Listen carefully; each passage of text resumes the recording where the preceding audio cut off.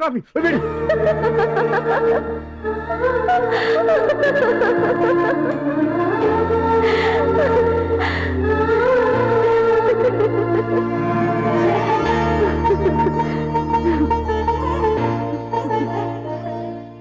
అవును రాధ అందం సంతోషం దగ్గర నుంచి సూటిగా చూడటం ఎంత బాధాకరమో ఇప్పుడు గడప మీద తెలుస్తుంది. కూర్చోకూడదు మహాలక్ష్మి పీఠం దిగు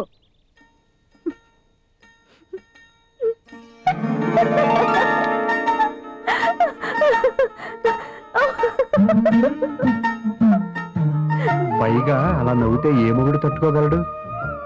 ఆనాడు మీ బావ కాబట్టి ముద్దు అడిగాడు అంతతో ఆగాడు. అదే నేనైతేనా? ఒక్కసారి సింహంలా లంహించి కౌగిలించుకుని ముద్దుల్లో ముంచేశాడు. ఓహో మా బావ మీలాగా? నీ అంత రౌడీ కాడన్నమాట. అన్నట్టు బావంటే ఎవరు? అక్క మొగుడా అత్త కొడుక? అన్నట్టు నీకు అక్కర్లేరుగా ఊ అంటే ఉన్నట్ట లేనట. ఇంతకీ ముద్దు ఎక్కట్ట? రైల్లో అప్పర్ బర్త్ మీద. అప్ప అది కాదు. బుగ్గ మీద మెడ మీద పెదవుల మీదనా? ఇంతకీ ఆ పూట ఏం జరిగిందట? పాపం అతగాడు అడిగిన ముద్దు నువ్విచ్చినట్ట? అతను పుచ్చుకున్నట్ట.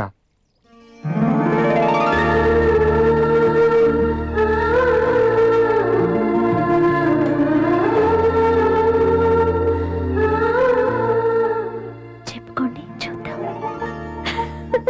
ఆగు. అడిగిన దానికి జవాబు చెప్పినట్టు లేదు. మరే చెప్పనట్టున్నాను. అదే చెప్పేట్టు లేవు.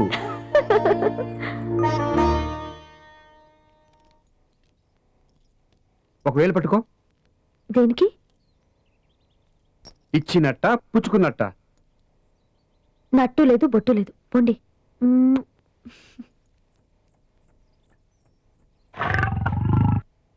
రాక్షసి. అసాధ్యకి. ఇంతలోనే దేవత కాస్త రాక్షసైపోయిందా? శోభన పెళ్ళి కొడక. ప్రేమించు రోజుల్లో ప్యూరు గోల్డేనమ్మ శ్రీ సూర్యనారాయణ. పెళ్ళైన మర్నాడు రోల్డ్ గోల్డ్ అయిపాయే శ్రీ సూర్యనారాయణ. దెప్పనక్కర్లేదు స్వామి నేను అప్పుడు ఇప్పుడు ఎప్పుడు ఒకటే మాట. మా రాధమ్మ బంగారమ్మ నిత్య బంగారమ్మ.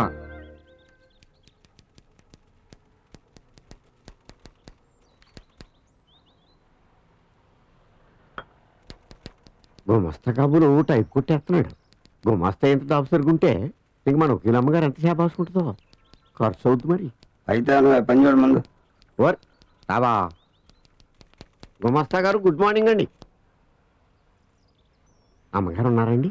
అమ్మగారు మీరెవరు? నా పేరు అత్తగారు ధర్మారావు అండి. గిట్టిన వాళ్ళందరూ అధర్మారావుని ఎక్కిరిస్తుంటారండి. కానీ నేను ఎప్పుడు ధర్మంతో పోటాడతానండి. అమ్మగారు ఉన్నారండి? కూకోండి కూకోండి కూకోండి. వీరి పేరు పైకోర్టు పాపారావు అండి. ఏ కోర్టులో ఏం జరిగినా పైకోర్టుకి వెళ్ళిపోతారండి. కోర్టు వాద్యాల కోసం పాతిక ఎకరాల మాగాని రెండు మేళ్ళలో తెగనం వేశారండి అయినా అమ్మగారు ఉన్నారండి.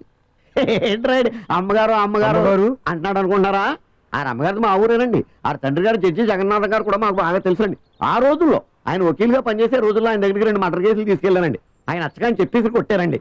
చిరునవ్వుకుని ఆయన ముక్కుసుడి మనిషి కదండి. ఆ చెప్పులు పూర్లో పెట్టారు కాళ్ళ దగ్గర పెట్టారండి. అప్పటి నుంచి మనం అంటే ఆయన గొప్ప ఇదండి. సాఫ్ట్ ఎన్నలాగా. అమ్మగారు ఉన్నారండి. కేసేంటో నాకు చెప్పు. అమ్మగారు చెప్తాను. మీకు చెప్పకుండానా? ఓదారి తర్వాత దేవుడు. ఇదిగోనండి ఈ ఎండిపోయిన కందపిల్లక ఎలకలాగా ఉంది కానీ ఏనుగంత కేసు. ఈ సేలో ఈ కంద నాటారండి. అది తేగపాకి పక్కోడి సేలో దుంప దిగిందండి. ఆరికి అది తెలవక ఆ కంద సగం తరిగి ఆ దుంప కోసుకు తినేశారండి. ఆరు సేలో దుంప ఆరు కోసుకుంటే తప్పేంటి? సీనారిదేనండి కానీ నాటింది మన సేలో కదా. అయినా దుంప ఆరు సేలో కాసింది కదా. ఆరు సేలో కాసింది కానీ మన సేలో పిల్లక కదా అండి. అందువల్ల వీరికి తిక్కరేగి చోరీ అన్నారండి. ఆరు పోరా అన్నారండి. మాట మాట పెరిగి చెయ్యి చెయ్యి తగిలి చాకుబాకు ఎగిరి ఆరికి చెయ్యి తెగిందండి. వీరి మీద కేసు ఎట్టారండి. వీరికి కర్ర ఇసిరారండి ఆరికి కాలు ఇరిగిందండి. ఇంకా కేసులు వాద్యాలు వాయిదాలు. అంటే ఈరిదే తప్పు? అయ్యుండొచ్చండి కానీ అమ్మాయి గారు కానీ ఈ కేసు పట్టుకుంటే గెలుపు గ్యారంటీ. ఎందువల్ల? జడ్జి జగన్నాథం గారి కూతురు కదండి. తీర్పుకి తిరిగి ఉండదు. కాలు కొట్టింది ఈరే అని తెలిస్తే అమ్మగారు తరిమి కొడతారు. అందుకే అమ్మాయి గారిని కేసు మీరు ఒప్పించాలి.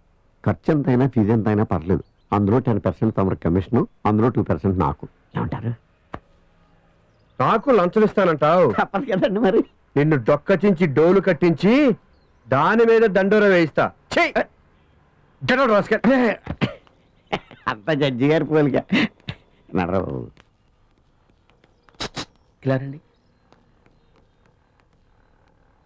నేను గుమస్తాని. ఆయన పీపీ పబ్లిక్ ప్రాసిక్యూటర్. డైరెక్ట్గా ఆయనకి లంచం ఇస్తారా?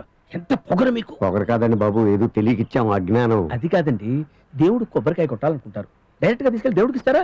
పూజారికి ఇస్తారు కొట్టేసి దేవుడికి ఇస్తాడు. దీంట్లో తేడా ఏముందో దేవుడికే కదా ఇచ్చేది? అది కాదయ్యా పూజారికి ఇస్తే అది నైవేద్యం లీగల్. దేవుడికి ఇస్తే అది లంచం ఇల్లీగల్. ఇంతకే తమరెవరు స్వామి? కూర్చో.